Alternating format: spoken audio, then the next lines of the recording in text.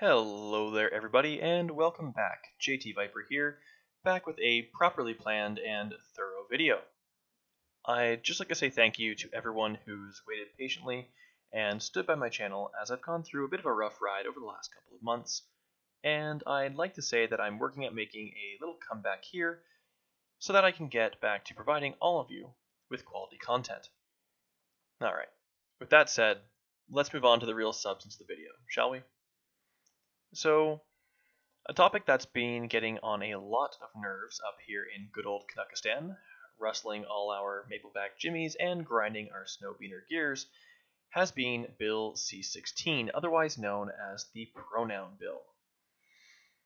Now, before you fly off the handle, as people have been wont to do with this topic, I'd like to ask that you try to remain calm and keep your seat backs and tray tables in the upright and locked position.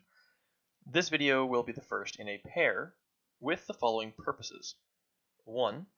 Provide a reading of Bill C-16 and its associated legislation. And 2. Analyze the bill, look at how it will likely be interpreted, assess the potential for its abuse, and identify any potential loopholes that may be exploited to negate its effects. This video will be nothing but a simple reading of the bill and little else. I'll be incorporating other legislation as it applies because this is an, an amendment to existing law.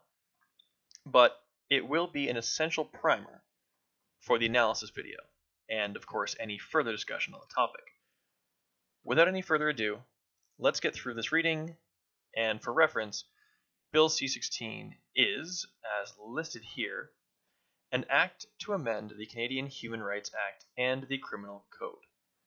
This is the reading as of the first session, 42nd Parliament, 64 to 65, Elizabeth II, 2015 to 2016, House of Commons of Canada. Her Majesty, by and with the advice and consent of the Senate and House of Commons of Canada, enacts as follows Canadian Human Rights Act. 1. Section 2 of the Canadian Human Rights Act is replaced by the following Purpose 2.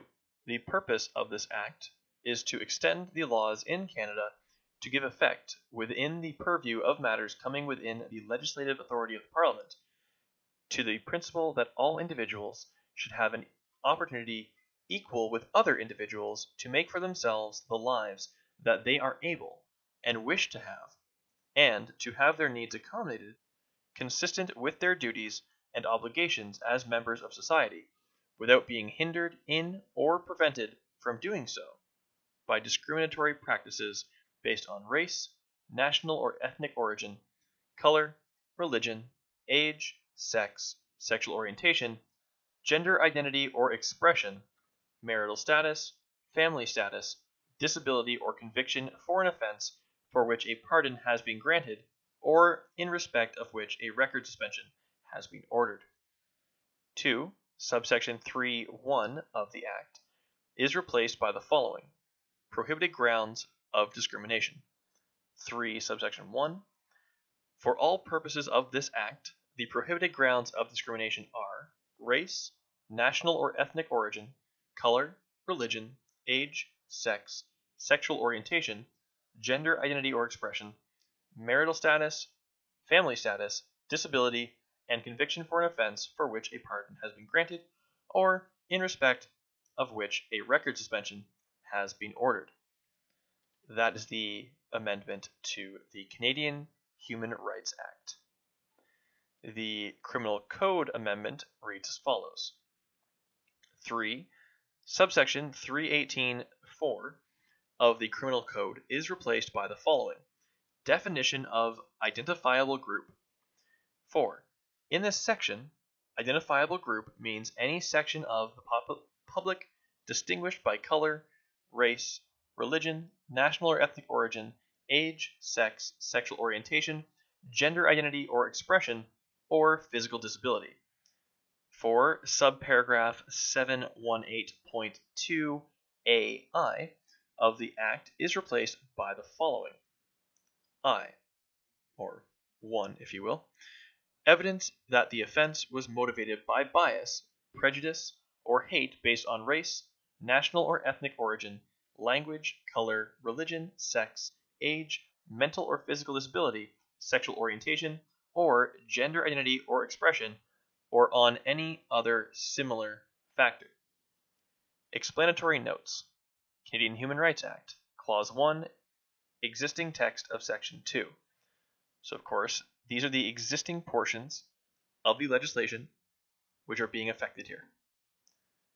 Clause 1, existing text of Section 2. 2.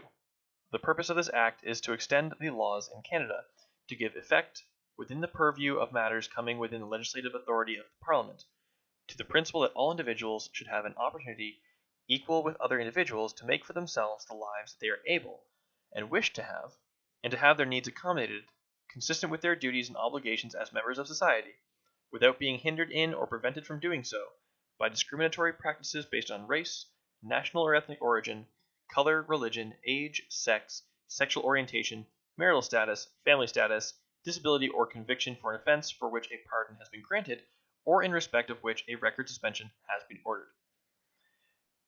Clause 2. Existing text of subsection 3 1. For all purposes of this Act, the prohibited grounds of discrimination are race, national or ethnic origin, color, religion, age, sex, sexual orientation, marital status, family status, disability, and conviction for an offense for which a pardon has been not been a pardon has been granted, sorry, or in respect of which a record suspension has been ordered. Criminal Code. Clause 3, existing text of subsection 3184. In this section, identifiable group means any section of the public distinguished by color, race, religion, national or ethnic origin, age, sex, sexual orientation, or mental or physical disability. Clause 4. Relevant portion of section 718.2. 718.2 a court that imposes a sentence shall also take into consideration the following principles. A. A sentence should be increased or reduced to account for any relevant aggravating or mitigating circumstances relating to the offense or the offender, and without limiting the generality of the foregoing. I. Evidence that the offense was motivated by bias, prejudice, or hate based on race, national or ethnic origin, language, color, religion, sex, age, mental or physical disability, sexual orientation, or any other similar factor. Dot, dot, dot, shall be deemed to be aggravating circumstances. This here has been a reading of Bill C-16, the otherwise known as pronoun bill, that is currently being opposed by Jordan Peterson. I do believe that is Dr. Jordan Peterson of the University of Toronto, and many others.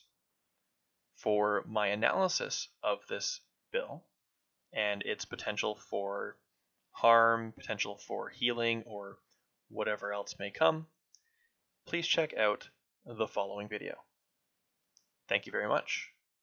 Have a great day.